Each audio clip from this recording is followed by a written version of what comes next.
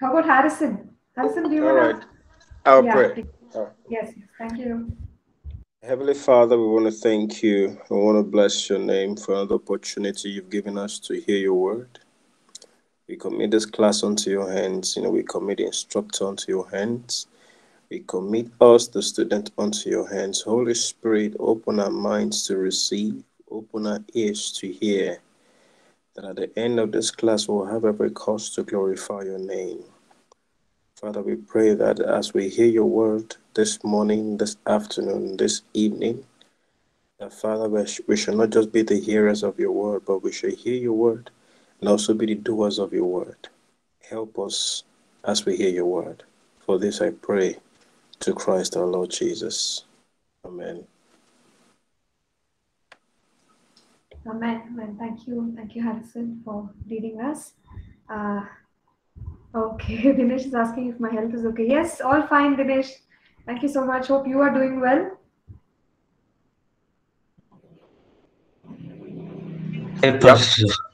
Yeah. Okay, that's great. That's great. Sure.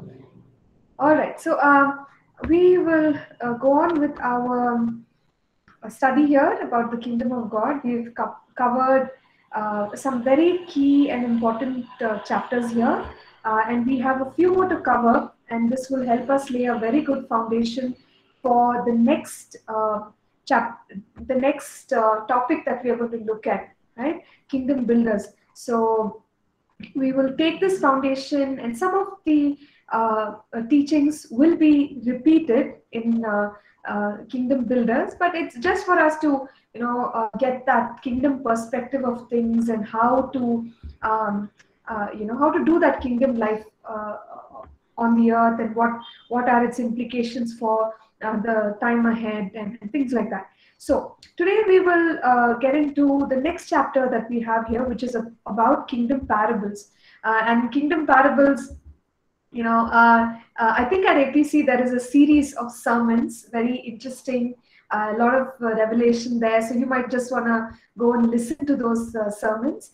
Uh, here we will look at the parables, but in a very brief way, just to help us understand, you know, what the kingdom of God is. And we see that Jesus used um, natural things, natural circumstances to explain uh, kingdom reality and kingdom truth.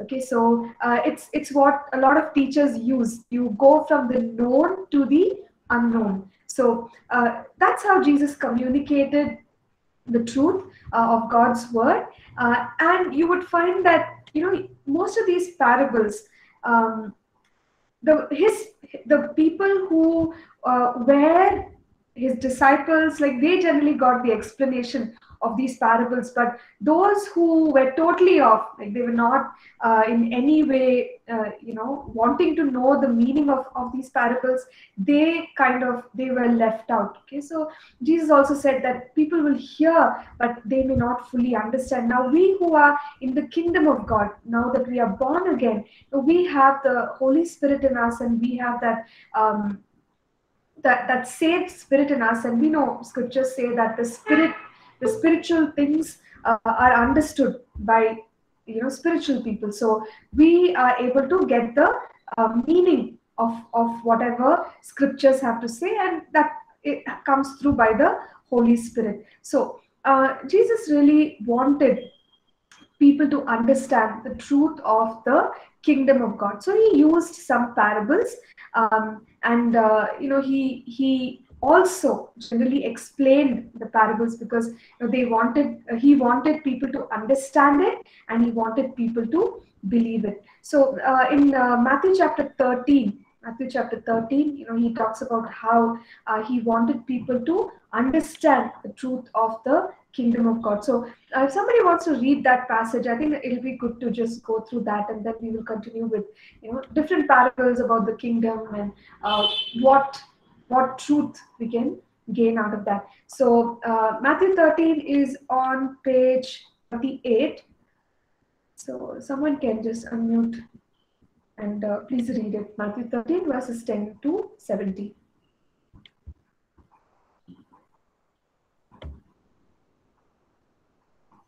Matthew 13, Yes.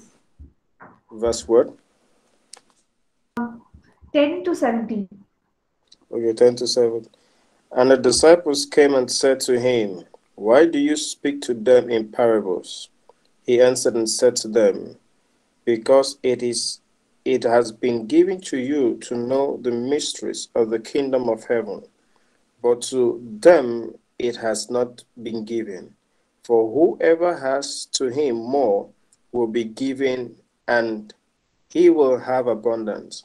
But whoever does not have, even what he has will be taken away from him. Therefore, I speak to them in parables, because seeing they do not see, and hearing they do not hear, nor do they understand.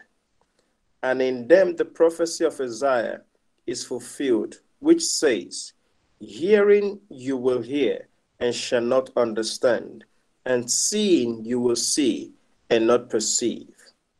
For the hearts of these people have grown dull, their ears are hard of hearing, and their eyes they have closed, lest they should see with their eyes and hear with their ears, lest they should understand with their hearts and turn, so that I should heal them.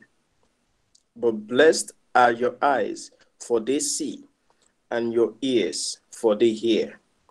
For shortly I say to you that many prophets and righteous men desire to see what you see and did not see it, and to hear what you hear and did not hear it. Therefore, hear the parable of the sower. When anyone hears the word of the king, kingdom ah. and does not understand it, then the wicked one comes and snatches away what was sown, sown in his heart. Okay. This is Uh, he who to- received seed. Yeah, by- sorry to interrupt, uh, Harrison. Uh, yeah, Yeah. thank you uh, for reading. Uh, I think we'll go to the parable of the sower a little later on. So till 17, um, like you completed 17, right? Verse 17. Yes. Okay, Okay. fine. For We'll for about that. assuredly, Huh. For assuredly I say to you that many prophets and righteous men desire to see what you see and did not see it, and to hear what you hear and did not hear it. Okay, sure. Thank you. Thank you, Harrison, for reading this for us. And uh, here we see how Jesus used parables. Parables are stories from our world uh, that bring out spiritual truth. You know, uh, any any kind of spiritual truth. In this case, he used parables to to explain the kingdom of God, so people would relate to it and they um, uh, would be able to grasp it. But in what Jesus shared in this particular passage, it seems like only his disciples had that grace to understand what was in the parables, and the people who other people who heard it, they could not uh, really get the meaning of it. But today, we know that we have the Holy Spirit in us, who's the spirit of revelation, who's the spirit of understanding, and He can enlighten our hearts to receive the truth because spiritual things are uh, understood, you know, in a spiritual way. So the natural mind cannot understand the spiritual truth. Uh, and, and this is the way in which Jesus communicated about the kingdom of God. And we've been learning about the kingdom of God. So, you know, we want to know um, uh, other dimensions of the kingdom of God. Okay, so there are uh, several parables um, in the Gospels, uh, you know, for us to note, and uh, each one of these parables, and particularly the parables about the kingdom of God, uh, you know, they they shed more light uh, on the aspects of the kingdom. So we will look at them one by one. Uh, the first one here is the parable of the sower. Okay, so in the parable of the sower, some of the key um, points that that uh, stand out for us. Now we know that it's about a sower going out and he's sowing the seed, and Jesus explains later that the seed is the word of God, uh, and uh, the seed grows well on good ground, but it doesn't grow well in uh, you know certain other places where there's when it is thrown on the stone or uh, when there are uh, when there, there are thorns and, and briars kind of choking the seed. Uh, we we also mm, okay, and uh, some seed that does not. Okay, hold on. There is stony ground, and uh, then there is uh, that which is choked by thorns. Okay, right, and then the good ground. So, uh, what was Jesus trying to say from this parable? The good part is that he himself went ahead and he explained uh, that parable for us, and he said that the you know the, the kingdom of God is such that um, you know that there is the word of the kingdom, right? Which is uh, which is the incorruptible seed of God, which is sown in the hearts of people, uh, and those who receive it wholeheartedly, those who receive it with focus, they are the ones who will see the root, you know, for that word develop within them, uh, and meaning the word is established in those who receive it with focus, receive it with an open heart, uh, and you know, uh, they are able to bear fruit for the kingdom of God. But those who um, do not receive the understanding of the word of God. They are not able to uh, bear fruit for God's kingdom. Then we also see that you know, those who go through persecution, trials, tribulations, if they let the difficult experiences, uh, you know, weigh weigh so heavily on them that they're ready to let go of the word, they're ready to let go of the faith. Even in that case, the word really does not bear fruit for such people. Uh, and he uh, points out that you know those who are um, taken over by the cares of this world. What are the cares of the world? Our uh, duties, our responsibilities, uh, the things that we we have to engage in, right? As uh, uh, people who are living on the earth. So the cares of this world or the deceitfulness of riches. this is very similar to what we see in 1 John 2, where uh, uh, John writes about, you know, the lust of the eyes, the lust of the flesh, the pride of life, the things that the world has to offer, the world system has to offer. So any form of distraction, right, uh, any form of giving up on the word of God will uh, uh, you know we, we will lose out on the the growth that we can experience the spiritual growth that we can experience uh, you know whenever we give up on god's word. So that's what jesus was saying. The kingdom of god uh, is is like this. The word of the kingdom we have to ensure that we we uh, we uh, protect it we nurture it we let what god wants to do take shape in us, take root in us with understanding, uh, and then we are in a position to bear fruit for the kingdom of God. So uh, we see the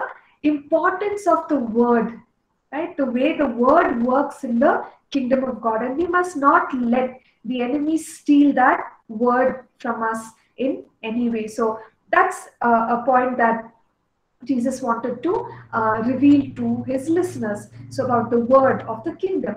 Uh, and then in another parable, when he talks about the good seeds um, and the tares, okay, now we know this is a parable where Jesus said the kingdom of heaven is like a man who went and he sowed good seed in his field, but when he slept, there was an enemy who came and he also planted, like he uh, planted weeds, uh, tares in the same field. Uh, but the the person decided to let all the crop grow up. So during harvest time, right, during harvest time, when it is collected, you know, at that point, the tares and the good crop are separated. So basically, again, Jesus kind of explains it and, and he says that the good seed are the people of God in the world today. And the bad seed are the uh, the, the people who don't know God and you know those who are not part of the kingdom. So this is a parable about the sons of the kingdom. Okay, the sons of the kingdom. And uh, what we learn from this is that though we are not of the world, we have been sown as good seed in the world. So there is a part that the sons or the daughters of the kingdom have to play. So uh, that's that's what we learn here. And of course you know when you see the progression of things in this parable we note that at the end of the age finally when uh, you know that there is uh, uh, sort of the culmination of things and at that point there will be a separation right? There will be a separation of those who belong to the kingdom of god and those who do not belong to the kingdom of god. So uh, that is some truth that is revealed from this particular parable. Okay so how does this parable help us? You know we uh, might lose heart often thinking that the people of this world don't understand us and uh, you know um, uh, are we even meant to be here struggling living for god? Uh, and at that point we can remind ourselves jesus did say that the sons of the kingdom have been sown in the world. So you know we take heart uh, with the fact that we are here to represent god. We are here to serve god continue to do good uh, in the name of, of jesus. And yes at, at a certain time when um, things uh, you know the end of the age happens at that time the sons of the kingdom will be separated from the others. The tares are uh, those who you know don't believe in christ and the, uh, they, they are part of the world and, and they continue with the things of the world.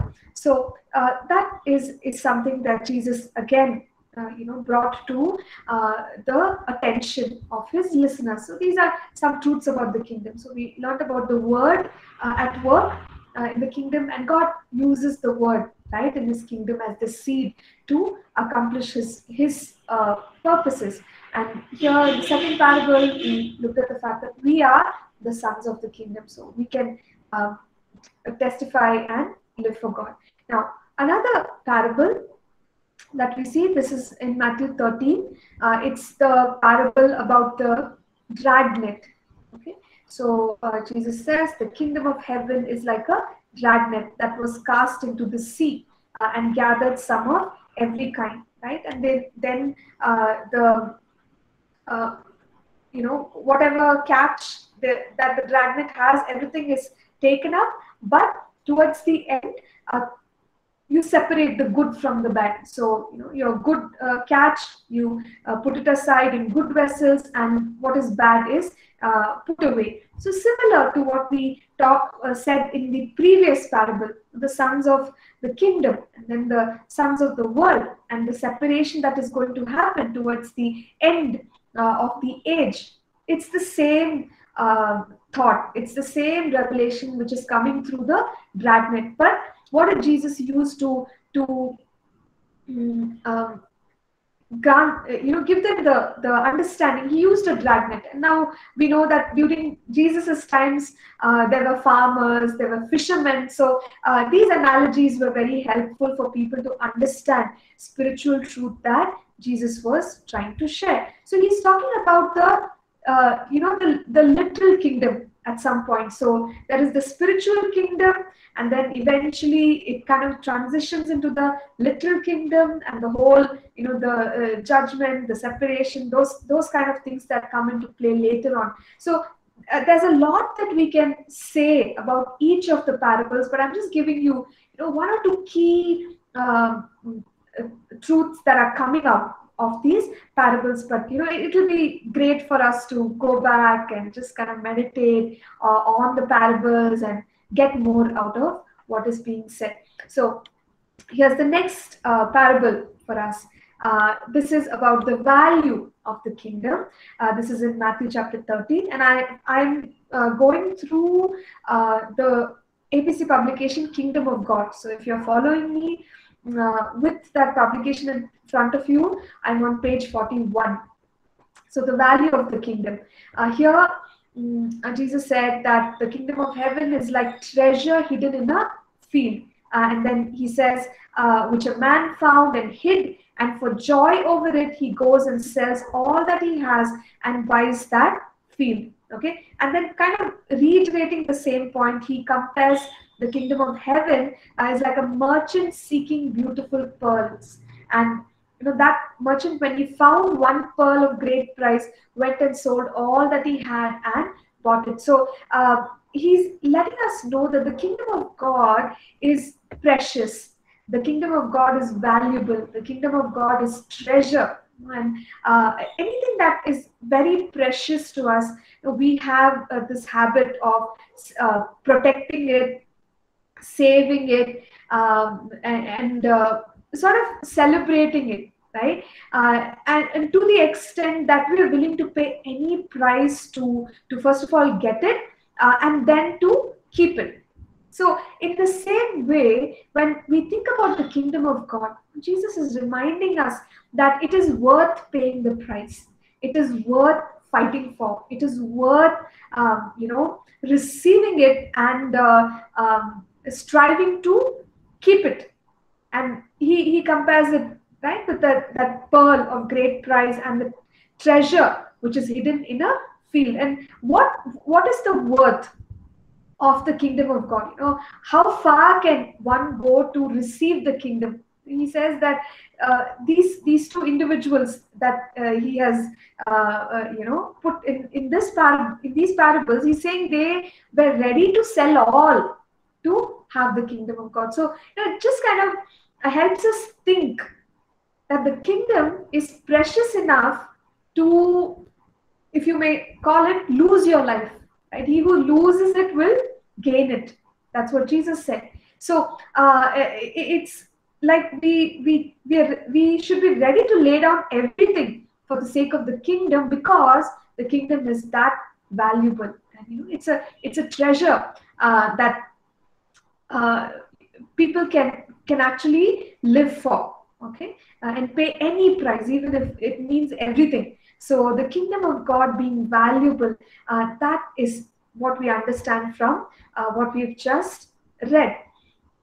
Now moving on moving on. So uh, you know teachings of the kingdom of god jesus had something to say about the teachings uh, and this is again in Matthew chapter 13. So, you know, we're trying to get a picture of the kingdom. There are so many parables. You can study all the parables to just get an idea of, uh, you know, what is the worth of the kingdom, what is the value of the kingdom, who are the sons of the kingdom, right? What is that is sown through the kingdom? What we know that's the word of God.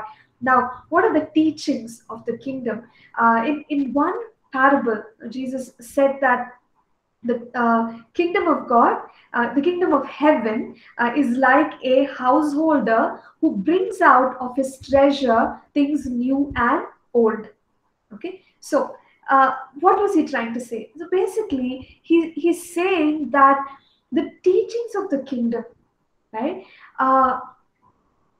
It, it's like you know somebody who has um, like he has some old things that he's preserving in his in his house and there are some new things and he kind of brings it out okay? So he kind of brings it out each time that uh, he needs to serve or or uh, uh, kind of you know um, give to to others. So uh, the teachings of the kingdom uh, you know it's I, I think this uh, those of us who are in the line of teaching or ministering the word we would understand. You know, there, there is the truth of god's word. Uh, some some of the some of the truth it never changes right? Like when we're talking about the cross or when we're talking about salvation uh, when we're talking about uh, the word uh, there are those uh, principles there is that revelation which we have heard from the beginning and we continue to teach it because it it is always relevant okay uh, and it is it is worth being repeated again and again and again so that's like the old that you bring out, if you want to call it old revelation, uh, you know, that you want to bring out time and again. But there's also the fresh and the new, like, you know, the Rhema word of God um, uh, from time to time. There, there is that fresh revelation uh, that, you know, God wants us to communicate. So then you bring out the new, right? But the householder of the kingdom of God, um, he has both the old and the new. But depending on the uh, you know the the timing depending on the people who are being ministered to uh, you choose right? You you it's all there. Everything is there stacked up. But relevance based on the relevance you bring an old teaching and then you bring a new teaching uh, right? But uh, it's it's all kind of there in the kingdom of god so the revelation of God's word uh, and uh, you know that word being interpreted correctly and in context, right? In context and uh, right to the situation. That word being communicated to the listeners is what really builds them up. It's what really positions them for a victorious life as a believer. So the teachings of the kingdom of God uh, is is um, again uh, something that Jesus talked about through a parable. Okay, and the next uh, parable here is about uh, stewardship. This is in Luke chapter 19, verses 11 to 27.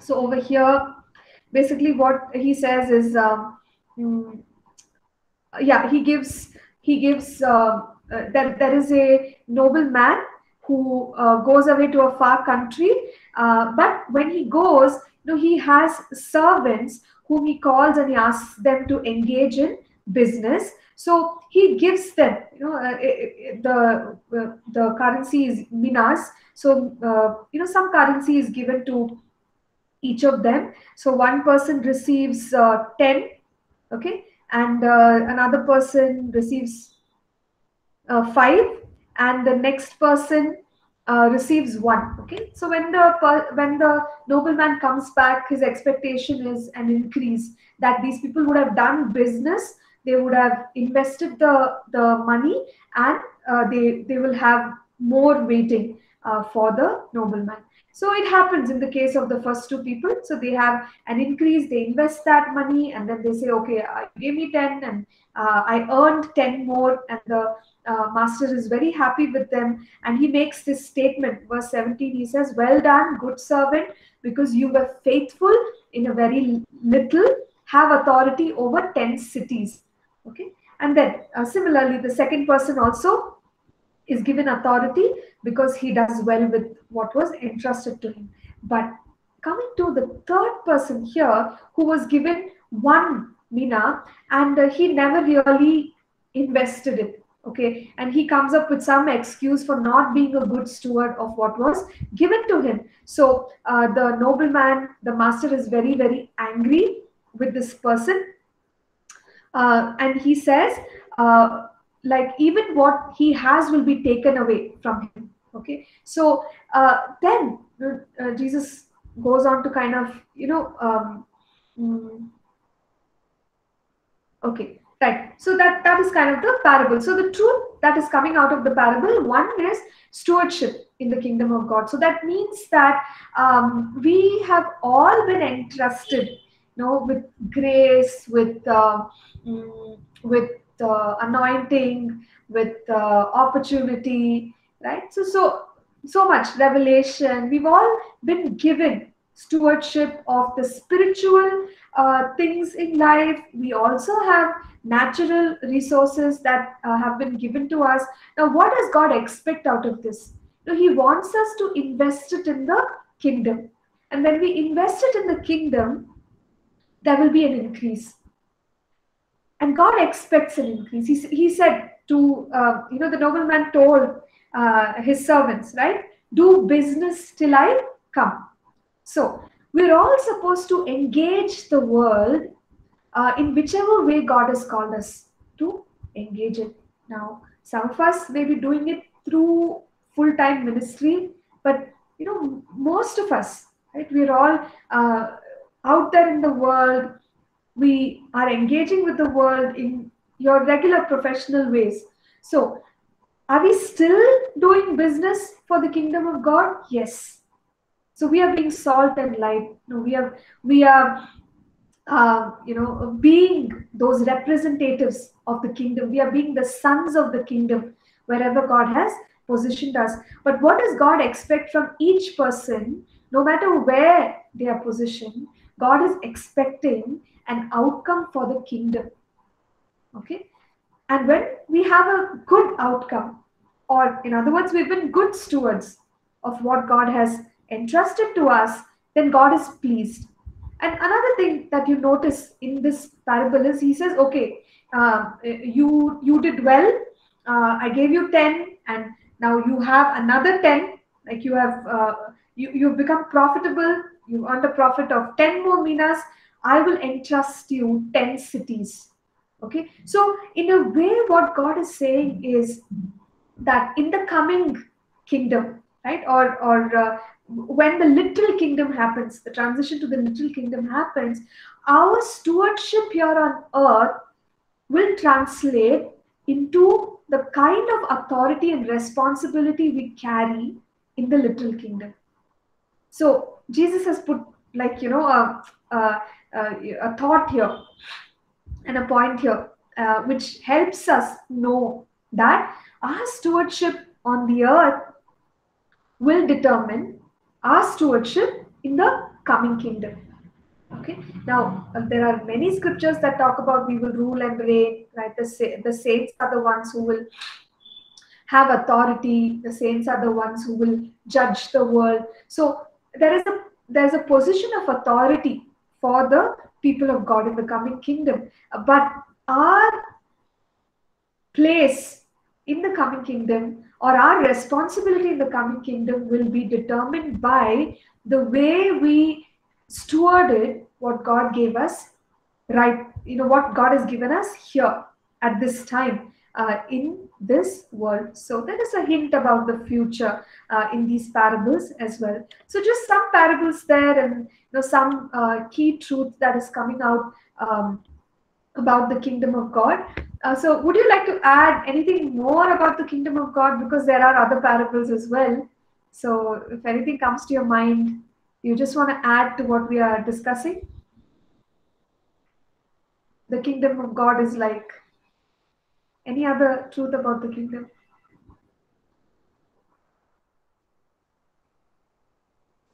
Can I share something? Yeah, yes, yes. Uh, so please go ahead.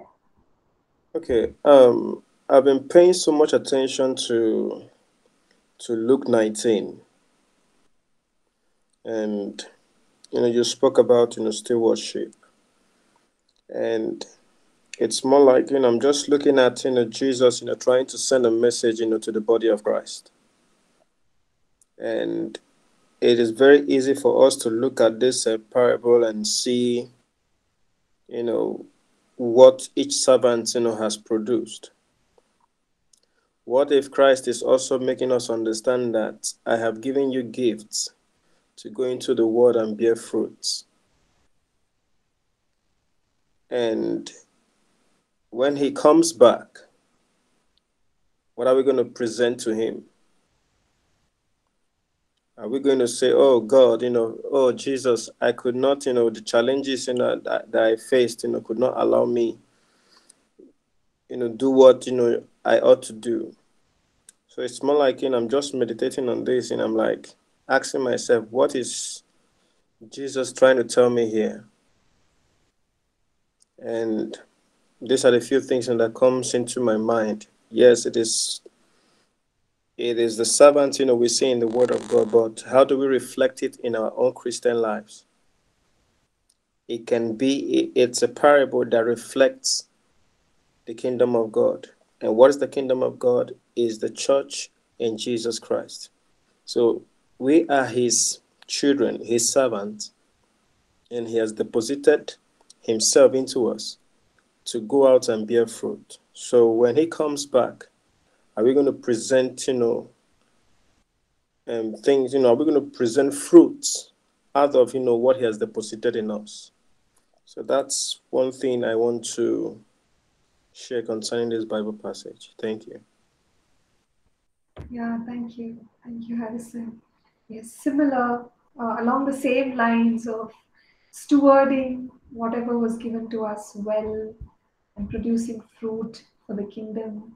Uh, and we see the emphasis here. Jesus is helping us understand that it is important. Fruit is important to him. Okay. Any any other things that you take from what we've discussed? Add to it. Yes. Yes. Hope you want to say something. Yes, Pastor. Yeah, about kingdom, and uh, I just want to share uh, Matthew 18 21, which is talks about a parable of an unforgiving debtor, comparing the kingdom of God with that kind of uh, parable. And uh, when you was teaching about the kingdom of God, I remember this this chapter and this verse about how the kingdom of God is being compared with an forgiving debtor. That sometimes we may be the part as we are sons and daughters of Christ, we enjoy the kingdom, but when we do not see the necessity of forgiving others from our own heart, it will not it will make us unqualified to the kingdom. So this this parable shows that uh, the debtor go to his king and ask for forgiveness, and the king forgive all his debts, but he had another debt. He had another person who he owed him money, but he didn't forgive him, and they he punished him. And uh, the parable says that uh, the that king take that debt and tell you, I forgave you, but you failed to forgive another person who owned you. So he throw him away to the prison. So it's it's give me an uh, an idea that we who belong to kingdom uh, we must be very careful because small things which we do to others affects our our whole life or our whole race with God. So forgiving others it is a part of kingdom and it is it is what God compared to the kingdom of God that when we fail to forgive others, we do not belong to the kingdom. Even when we Jesus taught uh, his disciples to pray, he told them that when you pray, pray like this that Father, forgive uh, when you pray God to forgive your sins, but as you forgive others, so God will forgive you as you forgive others. So kingdom of God also is being compared to the act of forgiveness. Thank you, Pastor. Yeah, thank you. Thank you, Hope. Thank you for uh, sharing that. Uh, the importance of forgiveness that comes through uh, what Jesus taught us. Anything else that you can see about the kingdom? I can add yeah, something. Mike. Please, please.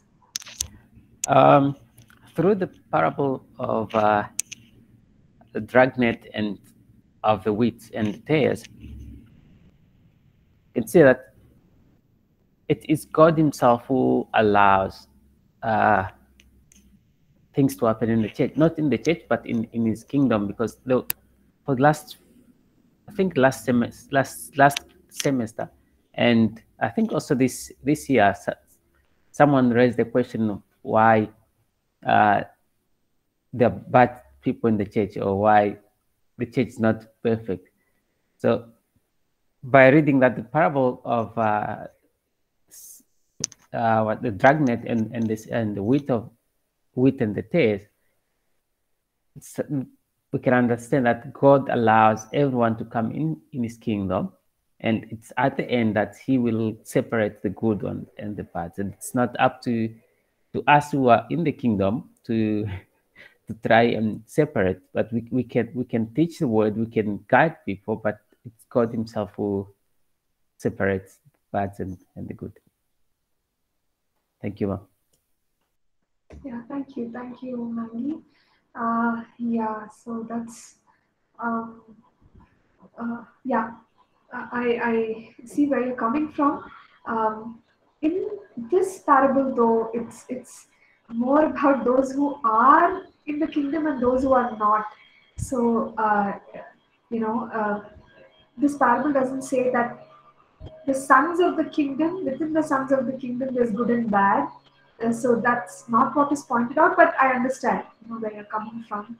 Um, uh, so in the world, we have the sons of the kingdom, and then we have the people of the world, uh, and then there's the separation, right, uh, between those who belong to God and those who do not belong to God. Uh, and I get the point that you're making that in the kingdom itself, you're saying that you know some you know are, not yet in a place of maturity is is that what you're pointing at maggie in the church because you said in the church Yeah, yes, yes, yes, Pastor. Because uh, it is God, God who, who who brought the word, right? And the word was sent to ev- everyone, and those who, for example, the the, uh, the dragnet was thrown thrown into the sea, and then they pulled it to to the shore to to to, to drag the fish whatever it, it was, and it brought everything together. So that's where I'm coming from. Where like Mm, mm, mm, sure everyone got get brought into the church, and then it's got to separate. Thank you. okay it's like those who believe and those who don't believe okay right fine uh, maggie that, that's all right. Um, yeah. Any any other thoughts about parables and about the kingdom? What else do you know about the kingdom from parables? Uh, ma'am, Yes. Yes. Please go ahead. uh, what I felt is uh, like being a uh, children of kingdom, we have been interested with so many spiritual gifts and uh, like authority. Unless and uh, we being the children of God, if we don't exercise them and don't accomplish what we have to for the kingdom of God, so that God will be glorified. So if we don't, that's when the kingdom of God will actually will uh, extended and uh, would be uh, expanded. So that is all. So if we don't grow in that, in if we fail in exercising our gifts, just keep it there. Like God has given us so many gifts, it is our responsibility to explore them, discover them within us, and uh, yeah, use them for His glory. That's what I feel. Sure, thanks. Thanks, Anita. So, again, more along the lines of stewardship, being fruitful. Even in the parable of the sower, we see the seed is sown, but what is the end result? The outcome that is uh, fruit 30, 60, and 100 fold. Okay. Okay, Kennedy, uh, it teaches deep truths of God's kingdom. True. Okay. Have you heard, uh, you know, the parable where mm, uh, the kingdom of God, it's like a mustard seed. Uh, when it is sown, it is the smallest, but finally when it grows, you know, it, it is uh, a large tree where it uh, takes care of people. So uh, that also tells us about how the kingdom is introduced. It can be introduced in a small way, but the kingdom takes over right so the pervasiveness of the kingdom is is uh, something that we can see in parables the kingdom of god is like that uh, east right which works through the the batch it it it pervades it permeates quickly so truths like that uh, also help us know how the kingdom works um, any anything else that uh, comes to your mind from the parables about the kingdom of god you can add to what we are discussing Yes, yes, Harrison, please go ahead. Okay, another thing comes into my mind. Um, the kingdom of God is His word. The kingdom of God is His word, and if I still read, you know, if I still look at the book of um, Matthew, chapter twelve and thirty-seven, it says, "For by your words you will be justified, and by your words you will be condemned." So I want to believe that everything about the kingdom of God revolves around His word. So what comes out of our mouth, you know, will either make us or destroy us. And that's one thing we can also see in the in the in the parable. Everything you know we do is as a result of our actions. What we speak from our mouth, you know, can either make us who we want to be or destroy us. So just to add, you know, that Yeah. the kingdom of God is His word. True, true. Yeah, thank you. Thank you, Harrison. So, thanks for that because uh, from the parables, we understand about the kingdom of God, but there is truth uh, in other places as well that helps us know how the kingdom works. So, the kingdom works by the word. Uh, that, that is so real. So, in the kingdom, when you want to see something happen, you got to sow the seed. If you don't sow the seed, you know, Jesus talked about how you sow the seed and then it's morning, then it's evening, eventually there's a blade, right? And then it kind of grows up uh, from there. But you just watch it grow once you have sown it.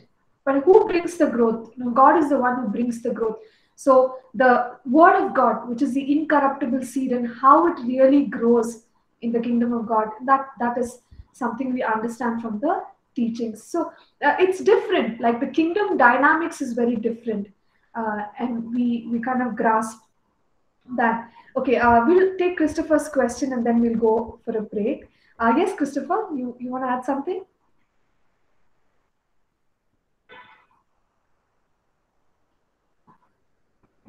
Uh, Christopher, you, you would need to unmute yourself. Yes, um, I um, just wanted to um, talk about that um, the value of the kingdom, where uh, the person finds uh, a hidden treasure, and um, there is a mention of finding it and then then hiding it, uh, and then uh, you know uh, after that, you know, selling it. Um, um, I mean, selling everything else and then buying bu- and buying it. So I was just trying to understand um, why uh, the person, you know, after you found it, he hid it. I mean, it's it's kind of a human tendency to, you know, you find the treasure and then you hide it because you don't want anyone else to find it because you intend to buy it. So I just wanted to understand if is there any significance to that, or is it just, you know, trying to trying to ensure that you know it is precious and therefore you know you're going to you know you're going to go ahead and uh, uh, you know uh, keep it you know or you know uh, uh, by buy buy um, keep it and you know sell it uh, sell everything else and, and and keep it as as a precious thing. So I just wanted to understand is there any significance to that Yeah, yeah. So in the hiding, uh, thanks for the question, Christopher. In the in the finding the hidden treasure and hiding it again, I believe it has to do with uh, um, you know sort of protecting it or not losing the precious thing that you found. Okay, it does not necessarily mean not sharing it because we know elsewhere uh, people are called to to make the kingdom grow and expand the kingdom, extend the kingdom. So we know God wants us to share it with others. So we the hiding has to do with you know not losing it. When you don't want to lose something, you you keep it safe, right? So it, it's just that. right okay Yeah. fine okay Sure. Yes. Uh, oh, looks like there's another question here. yeah. Uh, this is. Okay. Uh, Ibrahim, you want to go with your question? Yes, yes, yes, Pastor. I have a question that I, I've been Yeah. thinking for some time now. Uh huh. Yes, mm, uh, Pastor, looking at the uh, Matthew 13, verse 24, which talks about the parable of the wheat. And um, uh, in the context, of course, we understand that um, the field is the world. But Wow. the concept of weeds, weeds are plants that are grown at unwanted places. And I was even checking the Greek to really be sure of what I'm trying to say. So, um, is Jesus really referring to the unbelievers or those that are planted in the church, even though they are in the church, but they don't support the agenda of God. They are there for their own selfish interest and their own ambition. Is it something like that? That's what I'm trying to look at. Because if you look, you talk about wheat. If you plant a cassava in the midst of rice farm, Mm, even though cassava is good, but it is still a wheat. mm. So um, that's what I'm just thinking. So I decided to ask if I can get more explanations to Yeah, that in regards to what Maggie also said. So, uh, excuse me, you said Matthew 24. Uh, Matthew 13, verse 24, the Okay, parable of the wheat. Yes. Oh, Yeah, so Yeah. maybe we can think about that later. Yeah. Uh, so we're still talking about the parable of the wheat and the tares, isn't it? Yes, mommy. Yes, mommy. Yeah. Okay. So here it's quite clear, uh, Abraham, that uh, Jesus is not talking about the the difference in commitment of believers. It, he's not, because he clearly um, points to his people as the sons of the kingdom. And you know, when we uh, talked about the local church and the spiritual dimension of the local church, we said that everybody who's born again, that person is a part of the kingdom. Mhm. Okay, so by default, every believer, everyone who is born again, we are sons of the kingdom. Okay, mom. Okay, so uh, are- are there people in the church that truly they don't belong to Christ? Is that something biblical? Okay, yeah. So, see, if people are not born again, they don't belong to Christ. Now, is it possible for people to be in the church who are not born again? Very much. There can be some who come, but they never respond to the word of God. Okay, so uh, like when we talk about salvation, we also talk about the fruit of salvation. Like, how do you know whether somebody has accepted Christ? From their life, you can uh, actually make out whether or not uh, they have accepted Christ. So, yes, there can be people who are not born again. Uh, and of course, you know, we uh, in, in the mentoring sessions and uh, in other sessions as well, we have talked about those who are very much part of the kingdom, but uh, due to their own choices, at some point, they taste the things of the kingdom, but they let it go of their own will. Such people will also not be part of the kingdom because they have walked away from it. Okay, Pastor. All right. Thank you so much. Thank you yeah, so much. sure, sure. Thank you. Okay. All right. okay, Avni has a question here, but uh, we've uh, overshot time. So let's do this. We'll take a break and we'll come back 10 minutes. So it's 10.54. We'll be back uh, at 11.04. Uh, and then we will take up Avni's question and continue from there. thank you, everyone. See you soon.